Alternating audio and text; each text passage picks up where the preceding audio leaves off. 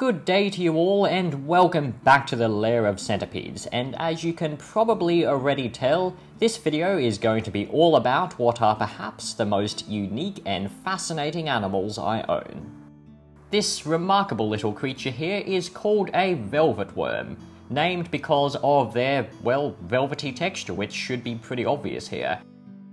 They comprise their own phylum, the Onychophora, which are closely related to the arthropods, albeit still separate groups.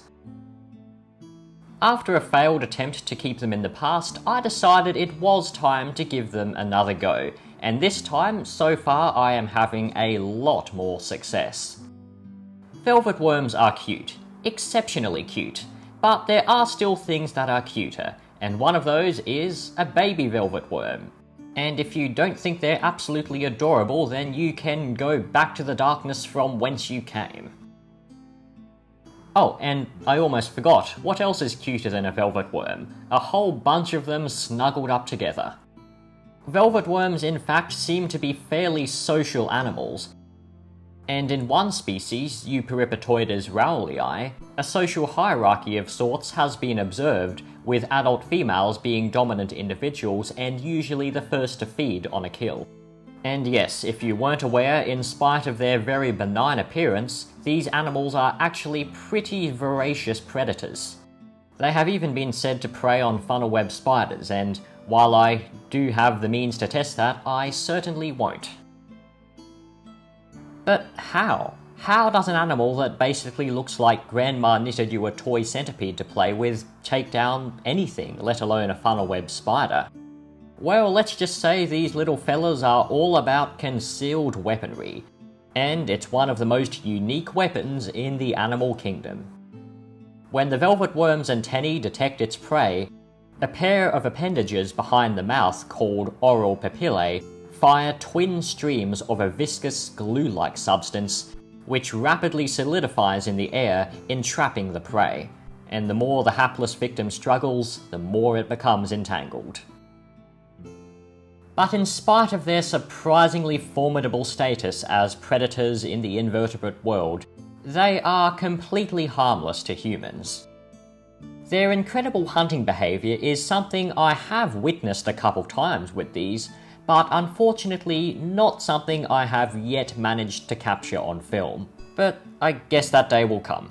Eventually. I will make that day come, I promise you guys. Now, I've been feeding my velvety little friends cockroaches just like I do for the centipedes. But the problem with velvet worms is that they are very messy eaters, and any leftovers, and trust me, there will be leftovers, are likely to get mouldy and velvet worms are not fond of mould. Two solutions to that that have worked for me so far. One is springtails, which graze on mould and prevent it from becoming too established. The other one, which seems somewhat counterintuitive, is to feed them fairly large prey. That way, any leftovers they leave behind are likely to be much bigger and much more easily noticed. So when it's time to clean their enclosure, I don't have to scour it too much.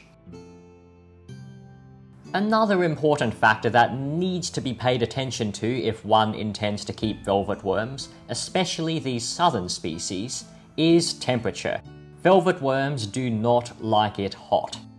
Some people keep them in wine coolers. Me personally, I just keep ice packs adjacent to their enclosures, in fact, partially underneath them, sort of like a heat mat, except the exact opposite of a heat mat. And in order to maintain the coolness, I rotate the ice packs twice a day and keep the entire setup inside a cool bag. Now, it is winter in Australia at the moment, so keeping things cool isn't much of a challenge. But it is likely that I will have to replace the ice packs more frequently once the weather begins to warm up again. So while I'm not going to get too cocky and claim success just yet, things are looking pretty promising at the moment.